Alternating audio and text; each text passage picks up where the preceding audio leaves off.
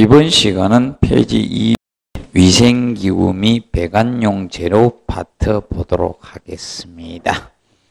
그래서 먼저 1번에 보시면 자 위생기구에 구비해야 될 성능 조건에 대한 설명을 옳지 않는 거 그래서 1번에 흡수성 뭐 또는 흡습성이라고도 보통 하고 흡수성 이렇게 합니다.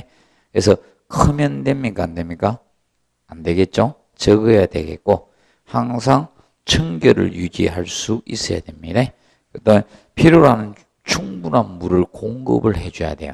자 예를 들어서 변기에 물을 적게 공급해서 어, 변이 안 내려가도록 하는 이 오물이 안 내려가면 안 되겠죠.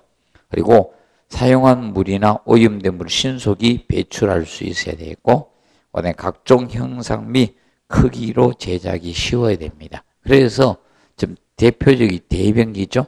대변기는 그 자체가 트랙 구조를 갖추고 있습니다. 그래서 1번은 1번 되겠고요. 그 다음에 2번에 위생기구의 장점이 아닌 것 했습니다. 그래서 경질이며 내구성 뛰어나다. 그리고 가격이 비교적 싸다. 이거는 이론에 이렇게 있는데 만족 못합니다. 좀 비싼 것 같아요. 일단 옛날 이론서 이질 때는 그때고 그 다음에 알칼리 산에 어떻게 어, 강하죠. 쉽게 부식되지 않고 변질되지 않습니다. 그리고 복잡한 형태의 기구를 제작할 수 있다 장점이죠. 그리고 오물이 부착되어 청소용의 장점입니다. 그런데 금속 어, 접속물과 쉽게 연결할 수는 없습니다. 자, 그래서 얘는 특히 팽창 계수가 굉장히 작기 때문에 금속이나 콘크리트하고 접속할 때 특수공법이 필요한 시공이 어떻게 까다롭다. 공사가 어렵다는 겁니다. 그래서 공사가 아, 쉽게 연결할 수 있는 건 아니다. 그 측면을 봐두시면 되겠습니다. 그리고 3번에 위생도기 품질 관리 행하는 시험과 검사 방법이 아닌 것은 뭐 대표적 이런 것은 검사하지 않습니다. 구품 시험이나 어, 구품 시험이라든지 이런 것은 테스트하지 않습니다. 인장 시험 이런 거 안 합니다. 인장 시험이나 이런 것들은 하지 않는다는 점 기억을 해 두시고 그 다음에 4번에 보시면 급수압을 크게 요하는 대변기는 무엇이다? 블론 아웃식 변기죠. 그래서 이제 블론 아웃식은 수압이 커야 돼요. 왜 그런가 하면 뭐를 장착하니까 블론 아웃식 대변기는 세정 밸브를 답니다. 세정 밸브를 달기 때문에 급수압이 큽니다. 그래서 블론 아웃식 변기가 우리가 알아둘 거는 자 블론 아웃식이 뭐다? 수압도 커야 되기 때문에 뭐가 큽니까? 소음이 커요. 소음이 큽니다. 그래서 소음이 크기 때문에 자 일반적으로 공동주택에는 부적합해요. 공동주택에는 어, 부적합하고요. 네, 부적합합니다. 그래서 공공장소에 많이 활용하죠. 공공장소에 사용이 되는 변기가 블로나우식 변기입니다. 그리고 5번 보시면 자 세정밸브식 대변기에 대한 설명 옳지 않는 거겠죠? 급수 간격은 얼마 이상이 돼야 된다 했어요? 급수 간격이 25mm 이상이 돼야 됩니다. 5번에 자 급수 간격은 얘는 25mm 이상이 돼야 된다 했습니다. 자, 일반적으로 자 이겁니다. 얘는 어, 세정 밸브식 대변기는 세정 뱅크가 있다 없다? 없습니다. 바로 급수관을 다이렉트로 연결해서 공급해 주는 방식을 쓰다 보니까 급수관이 이거 돼야 돼. 이렇게 돼야지 어, 세정 수량 확보가 가능합니다. 세정 수량을 확보하기 위해서입니다. 확보하기 위해서 간경이 25mm 이상이 돼야 됩니다. 그리고 급수압력이 얼마 이상? 0. 어, 1메가파스칼 이상 돼 주셔야 되죠. 그래서 이제 급수압력이 음, 급수압은 0.1메가파스칼 이상이 돼야 됩니다. 0.1메가파스칼. 그러면 우리가 알아둘 게 이게 킬로파스칼로 하면 얼마 된다? 약 100킬로파스칼로 알았겠죠? 약 100킬로파스칼 개념이 된다라고 했습니다. 자, 그리고 설치 공간이 거의 없고 단시간에 다량의 물을 사용하죠. 그리고 세정시마다 소음이 커요. 소음이 크고 그 다음에 급수오염을 방지하기 위해서마다 진공 방지기를 사용하고 자 진공 방지기를 어 백큐 브레이크라고 하죠. 백큐 브레이크라고 했습니다. 진공 방지기 그래서 이걸 역류 방지기라고도 합니다.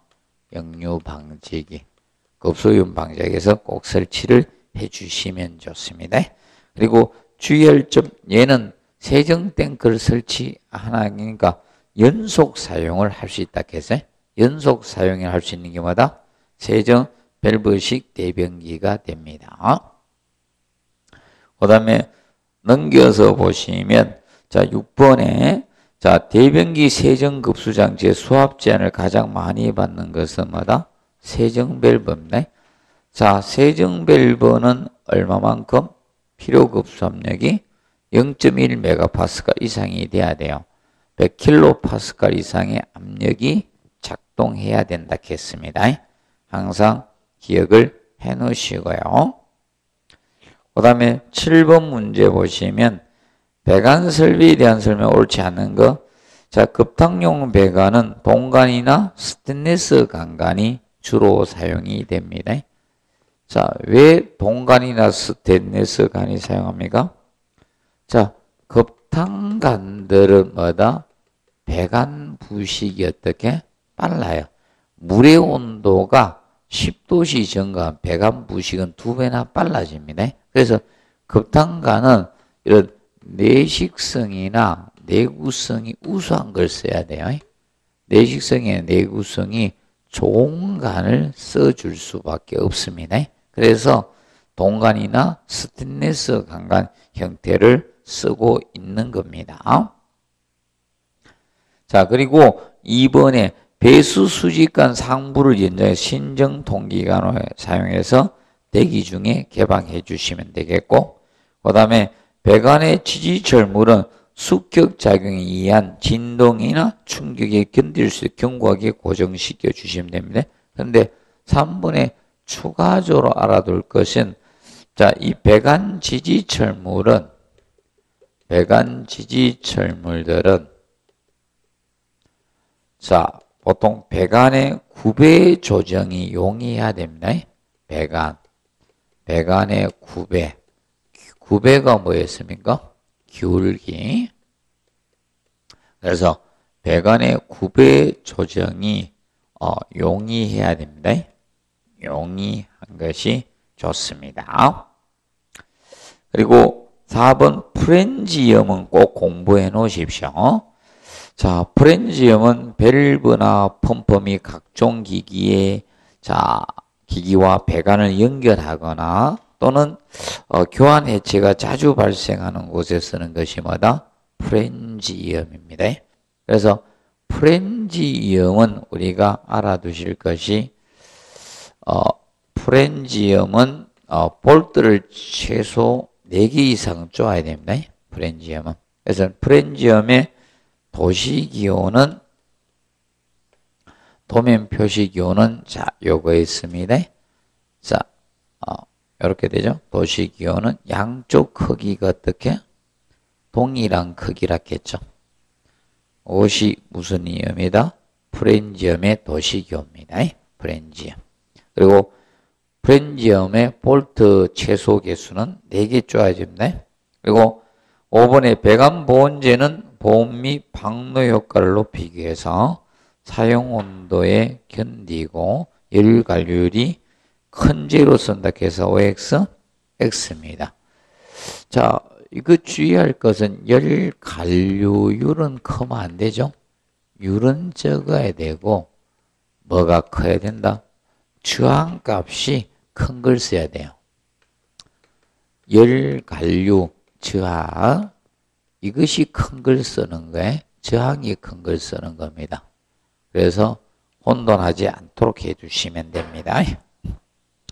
그 다음에 8번 문제 간 재료에 대한 설명으로 옳지 않는 것은 첫째, 급탕간은 급소보다 간의 부식이 빠릅니다. 그래서 아까 무슨 간? 동간이나 스테인리스 강간을 사용해야 됩니다. 그리고 연간은 열에 강하다 해서 OX, X입니다. 급탕배간의 부적값이에요. 그래서 어, 이 문장은 틀렸습니다. 그래서 2번 개념은 연간은 그래서 저런 데 많이 씁니다. 보통 우리 옛날에 보면 저런 데 병기 접속 부분 있죠. 간하고 접속 이런 부분에 많이 썼었습니다. 그리고 3번에 경질 염화 비늘과는 부식에 강하죠. 자, 경질 염화 비늘과는 어, 보통 저거죠. 가격도 싸고 시공도 용이하고 마찰 지향도 적고 맞죠? 전기 절용성도 있고 다 좋은데 단점이 뭐라 했어요? 경제 염화비의 단점은 열에 약하다는 거. 열팽창률이 크잖아요. 열팽창률이 크기 때문에 열에 약합니다. 열에 약하다는 거하고 그다음에 외부 뭐다? 기계적 충격 강도에 약합니다. 기계적 충격 강도에 약합니다. 강도에 약하다는 아, 단점을 가지고 있습니다. 자, 그리고 동가는 아연동 강도보다 부식에 대해서 강하죠. 그리고 아연동 강가는 평면 충격에 굴곡 자구리는 단점을 좀 있습니다. 자, 그리고 우측에 보시면 그래서 거기 나오는데 해설에 강가는 항상 3번을 기억해 놓으시 3번에 보시면 스케줄 번호가 뭐다?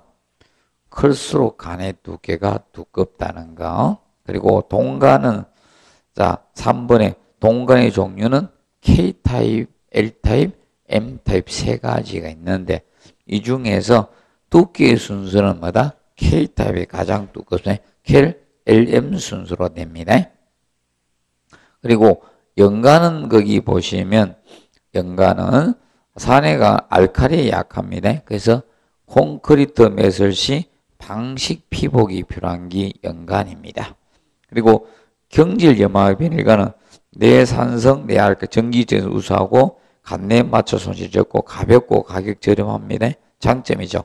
그런데 4번이 단점이죠. 열팽창률이 크기 크다는 거하고 외부 충격 강도 약하다 했습니다. 그리고 스테, 근데 접합법에 냉각공법이 있는데 냉각공법과 열강공법이 있습니다. 특히 냉각공법에는 두 가지가 있습니다. TS식 접합이 있고 어, 접합 개념과 그 다음에 고무링 접합이죠. 고무링 접합이 있습니다. 그래서 TS식 접합이라는 것은 어, 우리나라 말로 하면 접착제 접합입니다. 접착제. 접착제 접합을 TS식 접합이라고 합니다. 고무링을 이용하는 고무링 접합법이 있습니다. 간단히 알아두시고 그 다음에 스테인레스 강가는 위생적이면 내식성 우수하고 수면 길죠. 그리고 기계적 성질을 우수하면 기계적 강도에 강하죠. 그리고 두께가 강간보다 얇게 할 수 있기 때문에 자 일반적으로 시공이나 운반이 용이한 것이 특징입니다. 그래서 그 9번에 보시면 어 1번에 스테인레스 강간은 철에다가 뭐다 크롬이나 이런 니켈 같은 걸 첨가해서 어 강간에 비해서 어, 보통 어, 기계적 강도가 강하죠. 그래서 이제 강간하고 비교해서 공부하시면 됩니다. 어, 스테인리스 강간은 강간하고 비교해서 여러분들이 공부 학습을 해 두시면 됩니다. 그러면 스테인리스 강간은 강간보다 강간하고 비교하는 강간보다 자 내식성과 뭐다 내구성이 우수해집니다. 내식성과 내구성이 우수해집니다. 좋아집니다. 내식성과 내구성이 우수해지고 그 다음에 위생적이고 강간보다 위생적이죠. 위생적이고 그리고 강간보다 기계적 강도도 커요. 기계적 강도가 증가됩니다. 그럼 보통 다른 인장 강도든 이런 강도들이 다 커져요. 기계적 강도도 커집니다. 그렇다 보니까 강간보다 자 일반적으로 무엇이 됩니까? 어, 간의 두께를 얇게 할 수가 있다는 거예요. 간의 두께가 얇아진다는 거예요.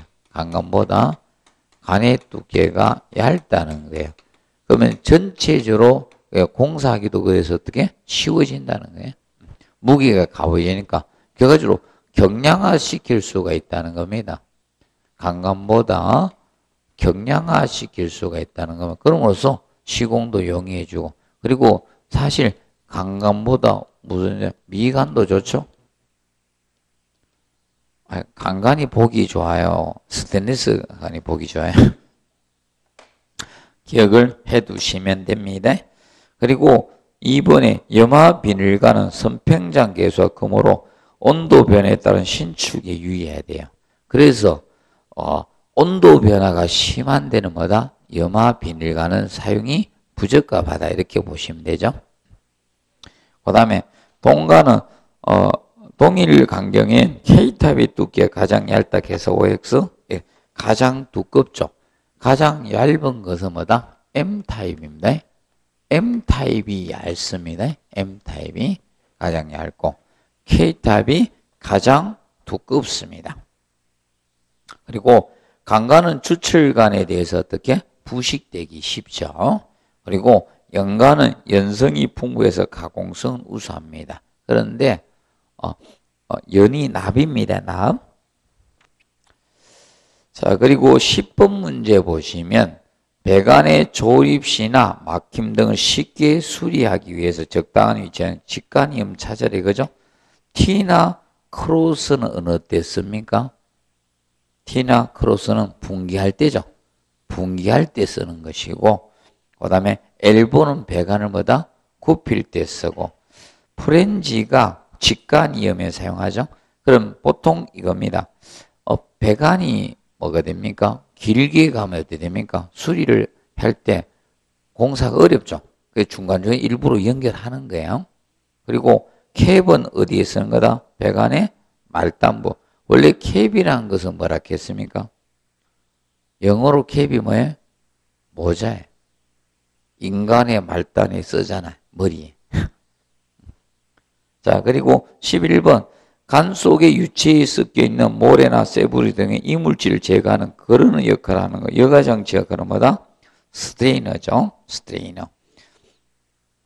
봐두시고, 그 다음에 12번에 보면 유체 흐름을 90도로 바꾸주는 밸브로서 주로 관과 기구의 접속에 사용하는 것은 뭐다? 앵글 밸브가 됩니다. 12번은 아, 한번 앵글 밸브죠. 그래서 앵글 밸브가 아, 대표적으로 어디에 쓴다 했습니까? 소화전 밸브나 방열기 밸브 2번 체크 해설해서 방열기 밸브나 소화전 밸브가 바로 앵글 밸브가 됩니다. 그래서 주로 관과 기구의 접속에 사용이 되고 있습니다. 그래서 앵글 밸브 도시기호는 이렇게 표시하면 되죠. 하살표가 직각 90도로 만나면 이것이 앵글 밸브 도시기호가 됩니다. 주의할 점은 이거예요. 어, 콕하고 헷갈리면 안 돼요. 콕은 0도에서 90도 회전시켜서 전부 열거나 닫는 형태가 뭐다? 콕이고. 그래서 어, 콕하고 혼돈하지 않도록 하십시오. 90도 나왔다고 해서. 그리고 13번에 다음 중 계기로 했죠. 계기로 서모스탯은 1번이죠. 서모스탯은 네모 박스에다가 T를 쓰면 이 서모스탯 자 자동 온도 조절기였습니다. 2번은 온도계를 나타내는 거죠. 템플의 약자 T를 쓴 거예요. 그리고 3번이 스테이너죠. 스테이너. 그리고 4번이 압력계를 나타낸 거예요. 압력계. 그리고 오일스테 기름 분리기가 5번 개념이 됩니다. 그리고 아까 했던 자 플랜지 이음 같이 해놓으세요. 플랜지 이음은 같이 해놓으시고 플랜지 이음은 양쪽 크기가 어떻게 동일 크기라 했습니다. 플랜지 이음. 그리고 배수관은 어떻게 표시한다? 실선 내지 아니면 드레인의 약자 D를 써서 표기할 수 있다. 배수관은. 그리고 통기관. 자, 통기관은 여러분들 용어로 점선, 어, 벤트 약자 V를 쓰든 이렇게 통기관은 표시할 수 있다는 점을 알아두도록 해 두시기 바랍니다. 그리고 콕은 어떻게 표시했다? 콕은 자, 이겁니다. 바닥에 다이아몬드가 누워 있으면 어떻게? 콕 주으세요. 여기 콕이었죠. 자, 그리고 14번 문제 보시면 자, 배관 설비 계통에 설치하는 부속이 아닌 것 태가 났습니다. 그러면 흡입비에는 공조나 냉동 설비 쪽의 부속품이 흡입비인입니다. 그런데 2번에 스테이너는 아까 여가 장치였죠? 배관에 세부설이나 모래 같은 게 기계로 들어가면 안 되죠. 그러는 여가 장치 역할이었고 리두션은 구경이 어떻게 다를 때 쓴다 했죠? 리두션은 뭐다? 구경. 강경이 다른 이음을 할 때 쓰는 게 뭐다? 리두셔고 그 다음에 벨로저 이음은 뭐라 했어요? 벨로저 이음은 벨로즘은 신축 이음새였습니다. 신축 이음새. 신축 이음새였습니다. 그리고 캡은 뭐다? 배관의 말단부. 배관의 말단부에 설치되는 게 캡이었죠. 그 다음에 15번 다음 밸브 중에서 유량 조절이나 지수전 역할 그 기능을 발휘할 수 없는 밸브는 체크 밸브입니다. 체크 밸브는 역류 방지용 밸브가 무슨 밸브? 체크 밸브에서 반대 방향으로 못 틀게 하는 역할만 하는 것이 바로 체크 밸브입니다. 역류 방지용 밸브. 역지 밸브라고도 칭합니다. 그 다음에 217페이지 난방설비 보도록 하겠습니다. 자, 난방설비는 뭐 두 문제에서 세 문제 사이로 출제가 되는데 뭐 최근에는 두 문제가 많이 나오고 있는 파트입니다. 최근에 두 문제. 그럼 먼저 1번에 보시면 자, 복사 난방 방식 중 파이프 매설시에 관한 설명으로 옳지 않는 것은 해가지고 나왔습니다. 파이프 매설시. 그러면 현재 우리 아파트나 주택에서 쓰고 있는 게 뭐다? 파이프 매설식 아닙니까? 바닥에다가 파이프를 매설해서 거기에다 뭘 보낸다? 뜨거운 물을 보내가지고 바닥을 가열해서 복사열을 방출하는 방식이 현재 이 파이프 매설식이 됩니다. 그래서 밑에 그림을 보시면 자, 바탕청이 있어요. 그러면 이제 바탕청. 자, 보통 아파트의 바탕청은 슬래브죠? 각 층의 슬래브가 바탕청이 있고요. 그래서 바탕청이 있고 그 위에다가 무슨 공사를 한다? 단열층을 설치를 합니다. 위에다가 여기에다가 열을 못 빠져나가게 단열층을 설치를 합니다. 단열층을 설치하고 그 다음에 그 위에다가 뭐다? 체움청. 체움청이 있습니다. 체움청이 있고, 어, 체움청 개념이 있고, 거기에 방열관을 설치하는 뭐다? 배관청이 있는 거예요. 배관청. 이제 배관청에 배관을 매리 배가 이 안에다 뭘 보낸다? 뜨거운 물을 보내는 거예요. 배관천에 열을 방출하는 거다 방열관이 매설되어 있는 겁니다. 그리고 그 위에 뭐다? 마감청. 이렇게 공사가 되는 거예요. 그래서 우리가 보실 때 그래서 열을 방출 여기서 하잖아요. 배관에서 뜨거운 물을 보내서 하죠. 그렇기 때문에 단열청은 배관청하고 무슨 사이에 설치한다? 어, 체험청 이렇게 이야기 안 합니다. 열을 방출을 여기서 하니까 배관에서 맞죠? 체험청은 데워지는 거예요 결과적으로 맞죠? 축일청 역할을 하는 거예요. 축일 열을 간직하는. 그래서 배관청하고 무슨 사이? 단열 아니, 바탕청 사이에 무엇을 된다? 단열청이 설치가 되는 겁니다. 이것이 개념이 됩니다.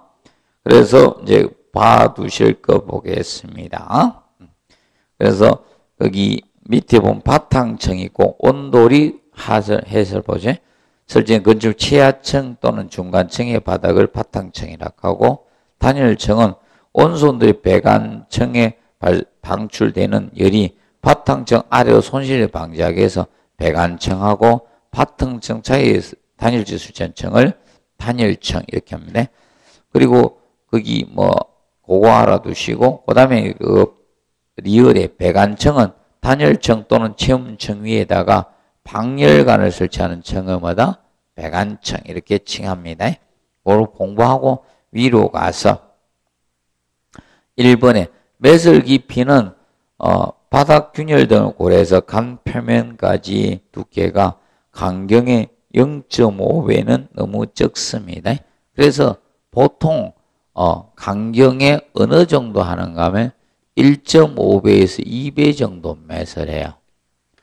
강경에 1.5배나 2배 이상 매설을 합니다.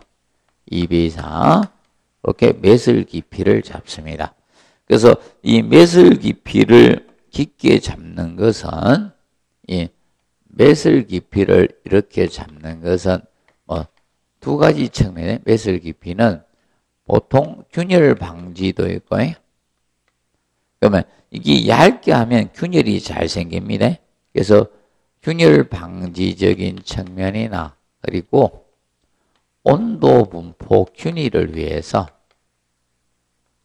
온도 분포 균일 목적으로 어, 매술 깊이를 일정 이상 해주자는 겁니다. 그래서 1번은 틀렸고 배관 길은 표면을 위해서 50m 이하로 해야 돼요. 자, 배관 길이가 길어질수록 온도 분포는 불균일해져요. 들어갈 때하고 나올 때하고 온도 차가 생길 수밖에 없겠죠. 그리고 온도 뭐 고르게 해서 피치는 간격을 뭐다? 피치라게. 이 간격. 온수 파이프를 묻었을 때 이 간격이 뭐다? 피치. 이것이 피치고. 피치고. 매설 깊기는 깊게 하면 그리고 온수 온도 콘크리트 매설할 경우 60도 이하라고 평균 50도 전후가 많이 사용됩니다. 현재 우리나라는 거의 콘크리트로 체험철 많이 합니다. 음. 그래서 어, 그 콘크리트로 바로, 바로 묻습니다. 그리고 순환 온 어, 순환 온수의 온도 차를 가열 온도 균일하게 하기 위해서 5에서 6도씨 이내로 하는 것이 바람직합니다. 그리고 이제 이 파이프 묻을 때 있죠. 이 배관을 묻을 때는 어, 기본적으로 이겁니다. 이렇게 실이 있으면 여기가 여기가 외벽이에요. 여기 창문이 이렇게 있다 가정을 합시다. 이런 식으로 여기 벽체고 여기가 실외입니다. 여기 창문이 있으면 보통 배관은 이렇게 되네. 제일 먼저 배관을 어디에다 보내는가 하면 창문 아래 여기 먼저 보내는 거야. 이론상은 이래도 실제는 안 해요. 이론상 이쪽에 배관을 좀 좁게 하고요. 이렇게 하면 이쪽으로 좀 넓게 이렇게 한다라고 보시면 돼. 이래야지 온도 분포가 균일해지. 그러면 실제는 안 합니다.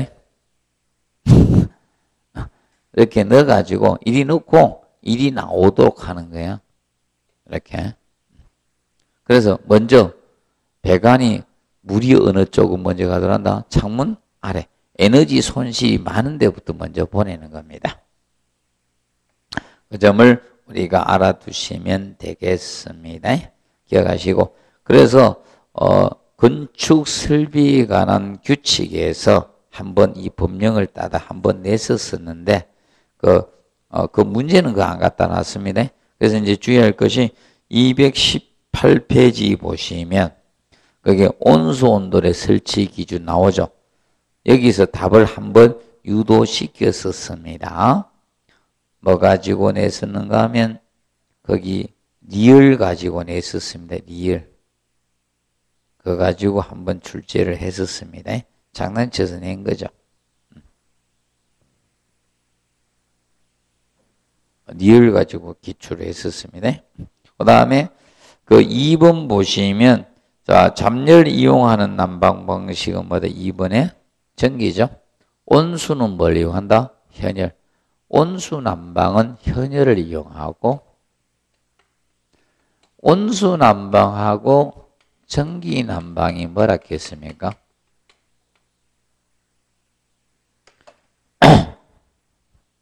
이걸 대류 식은 넣어도 되고 빼도 됩니다. 대류 난방 또는 대류식 난방이라 했습니다. 그 중에 얘는 현열을 이용하는 거고 현열을 이용하는 거고 얘가 무엇이다? 잡열입니다. 잡열을 이용하는 난방 방식 개념이 됩니다. 자, 그리고 219 페이지 보시면 자, 3번에 온수 난방에 관한 설명으로 옳지 않은 것은 내가 나왔습니다. 먼저 1번에 고온수 난방은 보통 온수 난방보다 위험성이 높습니다. 그럼 고온수 난방은 뭘 고온수라 했습니까?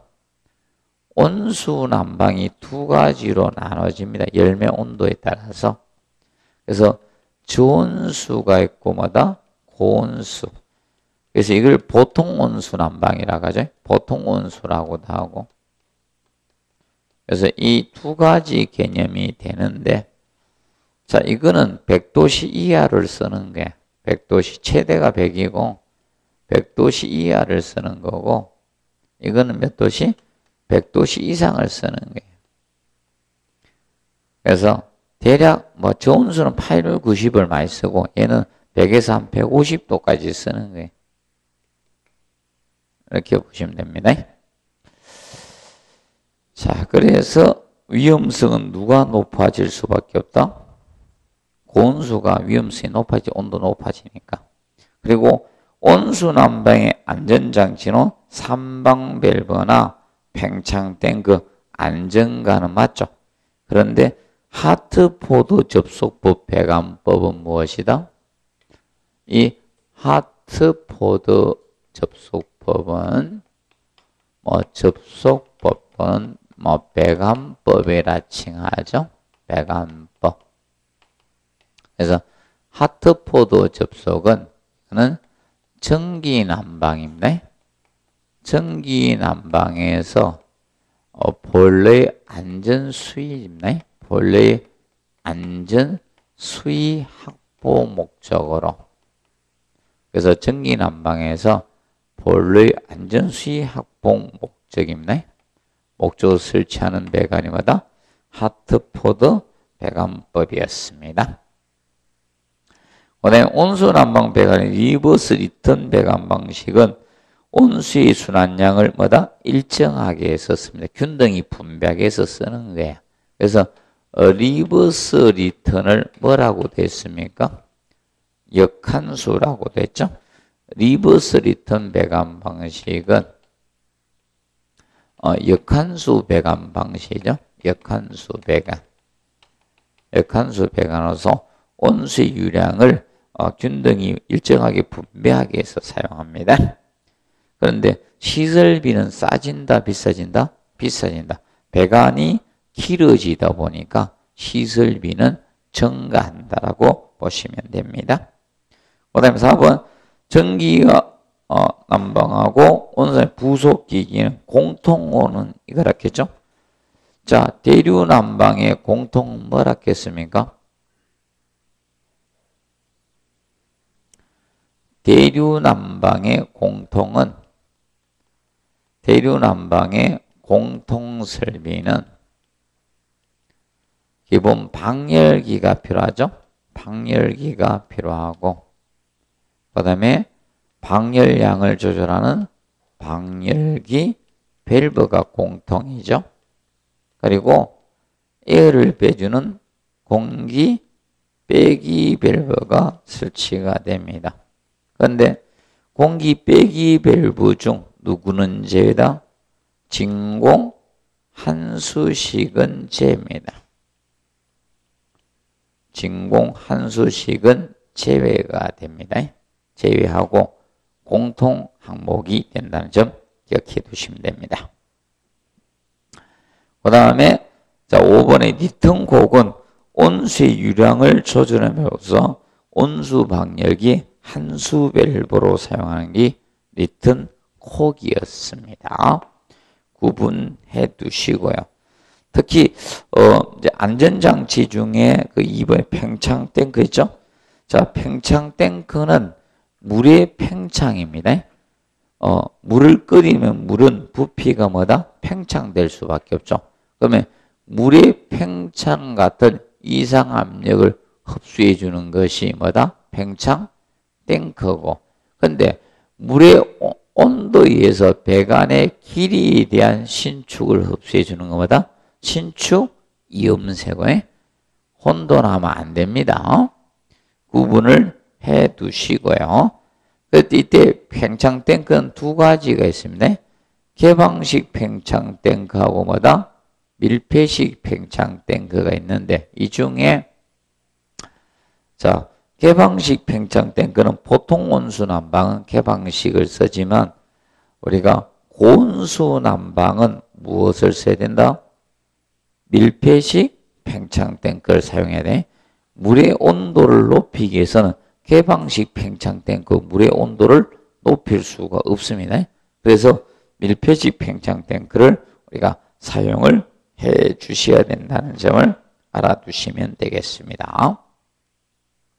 그리고 페이지 자 220페이지 4번 방열기 한수구에 설치해서 전기가 내 생긴 응축수만을 본래 한수하기 위해서 사용하는 것은 뭐다? 방열기 트랩, 열동 트랩이죠. 전기 트랩 중에 하나잖아. 전기 트랩을 찾으시면 되죠. 예, 스팀 트랩. 그래서 방열기 트랩, 연료각격 트랩으로서 방열기 트랩을 열동 트랩이라고 합니다. 열동 트랩. 그래서 기억해 두면 되나. 그럼 아까 1번은 뭐였습니까? 1번은 return cock은 이거는 어디 있었다? 온수난방이죠. 온수의 유량 조절하는 밸브라 했잖아. 온수 방열, 온수의 유량 조절 배워서 자, 온수 난방, 온수 방열기에 뭐다? 한수 밸브로 쓰이는 게 뭐다? 이튼 콕이고. 그 다음에 3번에 이중 서비스 밸브는 한랭지에서 응축수 동결 방지 목적으로 설치한 거예요. 그러면 이중 서비스 밸브는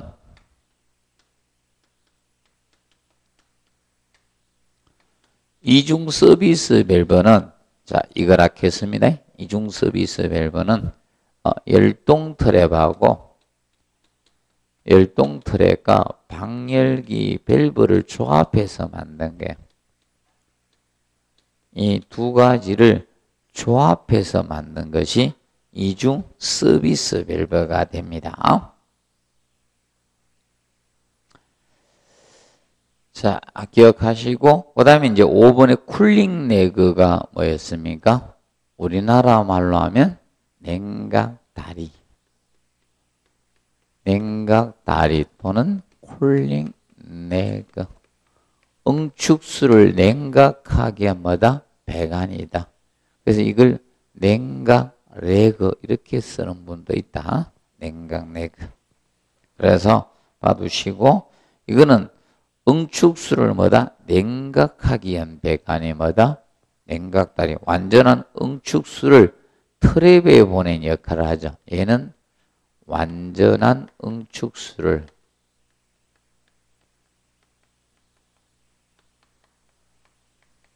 어, 트랩에 보내는 역할을 하는 거죠. 트랩에 보내는 역할을 하는 거예요. 그래서 얘는 보온 피복을 한다 안 한다? 안 합니다. 아, 노출 배관으로 가고 있다는 점 기억하시면 됩니다. 자, 그리고 5번에 전기 난방과 비교해 온수 난방에 관한 설명 중 옳지 않은 것은 자, 열 용량이 크죠?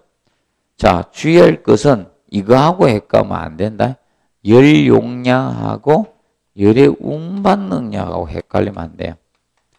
열 용량은 온수 난방이 큽니다. 온수가 전기 난방보다 큰 거고요. 그런데 열의 운반 능력은 누가 크다? 전기가. 열의 운반 능력을 비교하면 그것은 어, 전기 난방이 큽니다. 열의 운반 능력은 전기 난방이 큽니다. 혼돈하지 않도록 좀 주의를 하셔야 되겠습니다.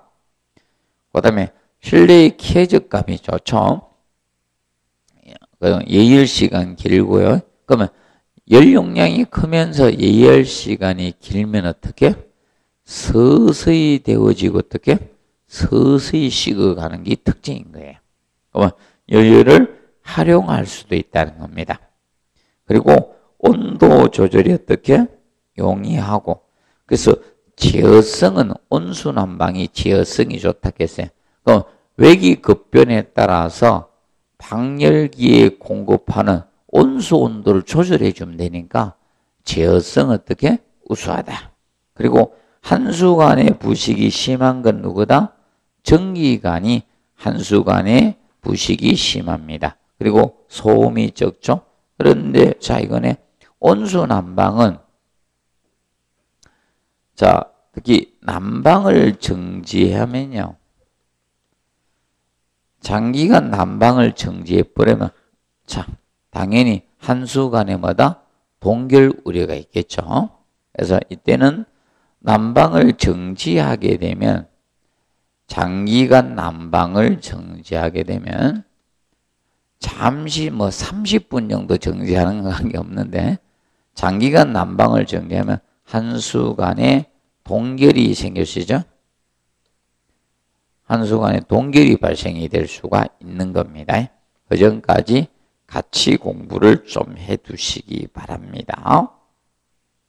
정리해 두시고, 그 다음에 거기 6번 문제부터 있죠. 난방설비 배관의 그 문제부터는 잠깐 휴식하고 계속 하도록 하겠습니다.